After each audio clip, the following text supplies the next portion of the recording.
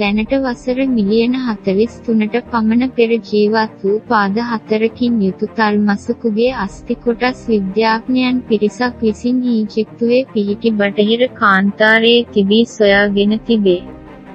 මෙම අස්ථි කොටස් පාද හතරකින් යුතු ඇම්පීබියස් පියෝමිසිටස් නමැති තල්මස් වර්ගයට අයත් බව විද්‍යාඥයෝ පවසති.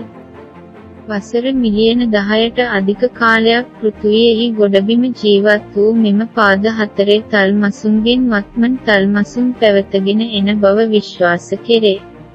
සොයා ගනු ලැබූ අස්ථි අයත් පාද හතරේ තල්මසා කිලෝග්‍රෑම් 600ක් පමණ බරකින් යුතු බව අනාවරණය වී ඇති අතර එම තල්මසාගේ දිග මීටර් 3ක් අඩි 10ක් පමණ බව විද්‍යාඥයෝ කියා සිටිති.